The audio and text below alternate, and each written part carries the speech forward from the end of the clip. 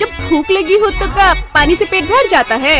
देख बचरी जैसा भी हो जवानी का पानी निकलना चाहिए। तो चार दिन का जवानी है मज़ा ले लो ना। दोस्तों हमारे देश में लोग मूवीज़ या वेब सीरीज़ में बोल्ड सीन देखना बहुत ज़्यादा पसंद करते हैं। बीच बीच में मूवीज़ में ऐसा होना लोगों को अधिक पसंद आता है। आज हम आपको उन वेब सीरीज़ के बारे में बताएँगे जिनमें हॉट सीन को बहुत ज़्यादा दिखाया गया है। तो अगर आपको भी इसी तरह की मूवीज़ या वेब सीरीज़ देखना पसंद है तो इस वीडियो को एंड तक ज़रूर देखें।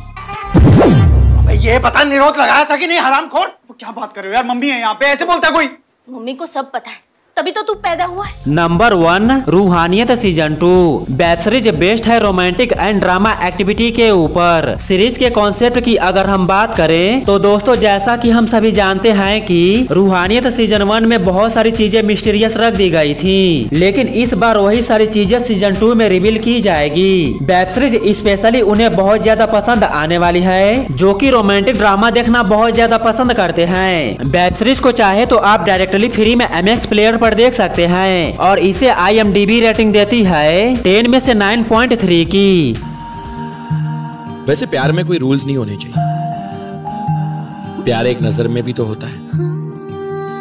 ऋषि मैंने ना इस डायरी में वो पचास बातें लिखी है जो कहती है कि हम दोनों एक दूसरे के लिए बने हैं। सोलमेट्स नंबर टू गंदी बात। दोस्तों, इस वेब सीरीज़ के बारे में आपने कहीं ना कहीं तो ज़रूर सुना होगा, जो कि मोस्ट पॉपुलर वेब सीरीज़ में से एक है। अब तक इस वेब सीरीज़ के छह सीज़न रिलीज़ हो चुके हैं, और ये सभी सीज़न एक दूसरे से बिल्कुल अलग हैं। वेब सीरीज़ में बहुत सारे ऐसे सीन हैं, जिन्हें आप अपने फैमिली के साथ बैठकर कभी ना देखें। दोस्तों, अगर आप इस वेब सीरीज़ को देखना चाहते हैं तो डायरेक्टली ए बालाजी पर देख सकते हैं। कोई तो ऐसा होगा ना जो सारिका को नापसंद करता हो। दोस्त मरते हैं, दोस्ती नहीं, शरीर मरता है, आत्मा नहीं। सारिका के नंबर से किसने मैसेज किया?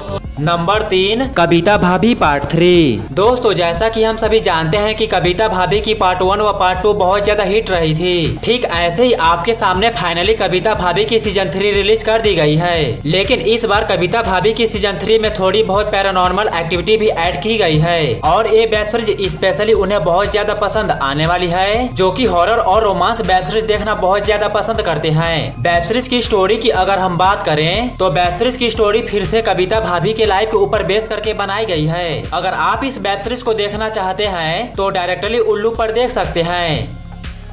आखिर आप पहुँच ही गए। और कैसे गुजर रही है आपकी ज़िंदगी इस घर के अंदर? ना जाने कब मंगला का भूत आ जाए। यहाँ के लोगों का मानना है कि मंगला नाम की एक औरत थी और वो यहाँ पर भटकती फिरती है। देवर जी आप सोई नहीं अभी?